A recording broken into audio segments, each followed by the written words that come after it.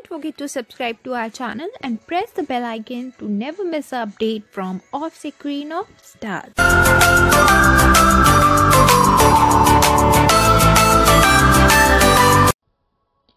बॉलीवुड की जानी मानी एक्ट्रेस श्रीदेवी कपूर दिल का दौरा पड़ने के कारण उनकी दुबई में मौत हो गई she was only 54 year old Sridevi अपने पति बोनी कपूर और छोटी बेटी खुशी कपूर के साथ दुबई में एक फैमिली वेडिंग अटेंड करने गई थी। इस खबर को सुनने के बाद सारा बॉलीवुड शॉक में है और उनके फ़ैन तो इस बात पे यकीन ही नहीं कर पा रहे।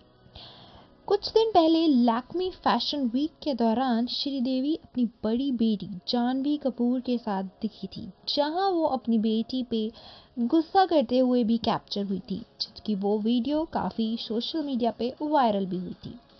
जिसके बाद से ही श्रीदेवी और उनकी बड़ी बेटी जानवी कपूर में सब कुछ ठीक ना होने की खबरें सामने आने लगी थी। इसी बात पे यकीन तब हुआ जब जानवी कपूर, श्रीदेवी और फैमिली के साथ एक फैमिली वेडिंग अटेंड करने भी नहीं गई और शूटिंग का बहाना इस बात को बना दिया गया। आपको बता दें, श्रीदेवी अपनी बेटियों की परवरिश के लिए अपनी एक्टिंग को छोड़ के अपनी एक्टिंग की कुर्बानी भी दे दी थी।